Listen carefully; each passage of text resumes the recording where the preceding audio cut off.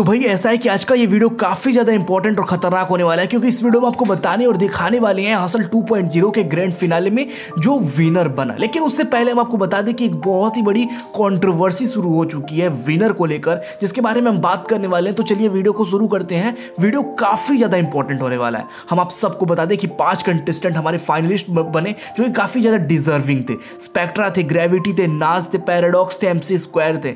लेकिन इन पाँचों में से जो फ़र्स्ट रनर अप बना, आप सबको नहीं पता हो तो बता दें, वो ग्रेविटी थे टीम डीनू से। अब हम आपको बता दें कि विनर को लेकर बहुत ही बड़ा कंट्रोवर्सी शुरू हो चुका है। विनर तो बने हैं एमसी स्क्वायर लेकिन एमसी स्क्वायर के जगह पे काफ़ी लोगों का कमेंट आ रहा था कि पैराडॉक्स को विनर होना चाहिए था, और काफ़ी लोग ग्रेविटी को सपोर्ट कर रहे हैं कि ग्रेविटी को विनर होना चाहिए। ये दोनों कंटेस्टेंट को लेकर ग्रेविटी और पैराडॉक्स लेकिन असल में विनर तो एमसी स्क्वायर है। लेकिन ये सवाल मैं आप सब लोगों से पूछना चाहता हूँ कि रियल विनर आप सब किसको मानते हो?